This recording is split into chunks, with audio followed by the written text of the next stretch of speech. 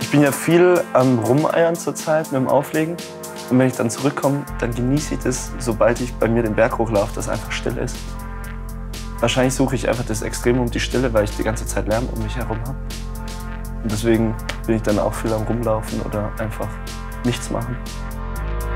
Ich merke, dass sobald ich Leerlauf habe und nicht wirklich eine Aufgabe zu tun und ich einen freien Kopf bekomme und auch dadurch, dass ich in einem stillen Umfeld bin, dass sich eher Nährboden für was Neues entwickelt.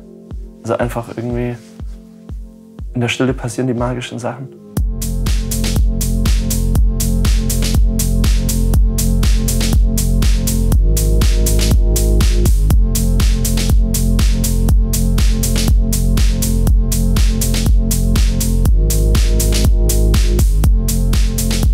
Wenn ich feiere, dann feiere ich richtig. Wenn ich gesund sein will, dann will ich richtig gesund sein. Also ich mache immer alles ohne Mittelmaß irgendwie. Vielleicht wird es auch mal besser.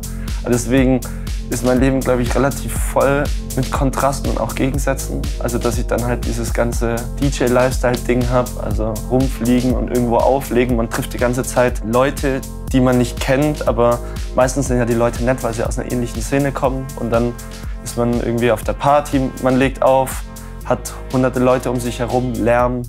Dann ist man alleine im Hotel, was ja auch wieder ein großer Kontrast ist. Aber in beiden Fällen bist du anonym und dann bist du auf der Reise im Flieger, da bist du wieder allein, hast aber auch irgendwie wieder Leute um dich herum und dann kommst du nach Hause und dann ist Stille und dann ist da gar niemand. Und das sind halt Freunde. Also dieses DJ-Leben an sich voll mit Kontrasten oder mit Sachen, die eigentlich nicht so zusammenpassen. Also viele Menschen, aber dann auch gar keine Menschen. Eine Anonymität eigentlich viel.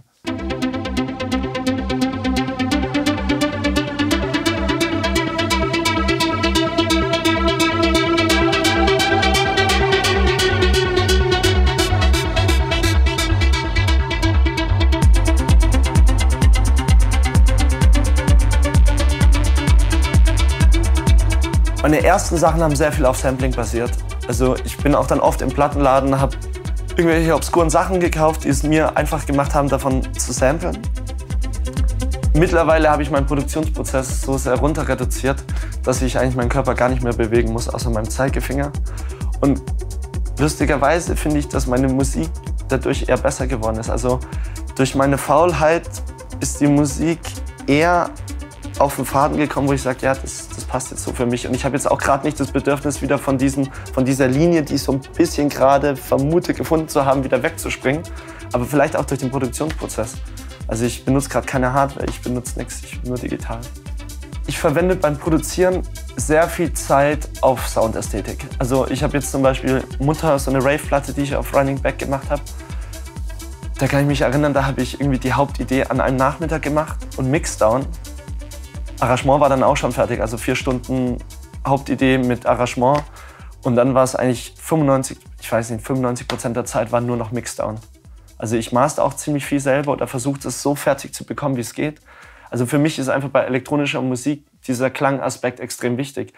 Es muss nicht alles High-End klingen. Es ist ja auch völlig gewollt, dass manche Sachen Lo-Fi oder distorted oder halt clean klingen. Aber mich interessiert dieser Aspekt sehr, dass bei dieser sehr technischen Musik, die wir machen, die ja auch funktionieren muss im Club, dass natürlich auch Klang eine Rolle spielt, ob er jetzt gut oder schlecht ist.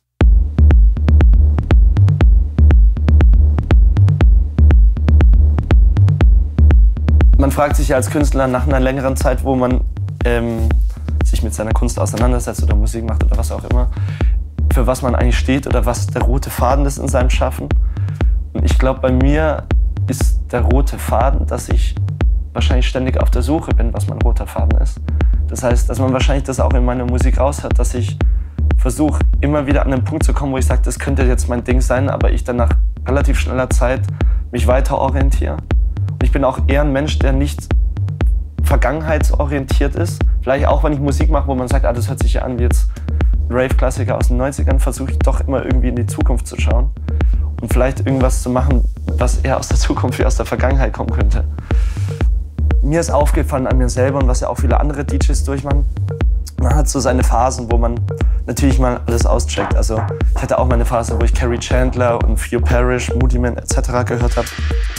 Dann gibt es eine Phase, wo man das ganze Detroit-Techno-Zeug und Elektro durchmacht.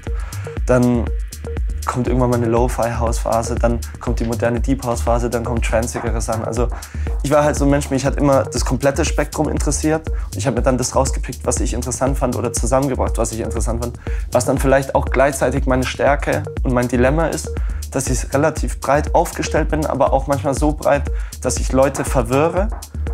Ob unbewusst oder bewusst, dass immer an dem Punkt, wo sie sagen, hm, das könnte jetzt das sein, für was du musikalisch stehst, dass ich dann immer wieder damit breche bewusst oder unterbewusst, wahrscheinlich bewusst.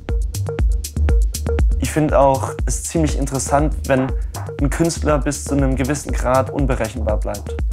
Dass man trotzdem weiß, also jetzt bei einem DJ, ich kann hingehen und es wird eine gute Party sein, aber ich weiß nie ganz genau, was mich erwartet. Und das möchte ich auch so beibehalten.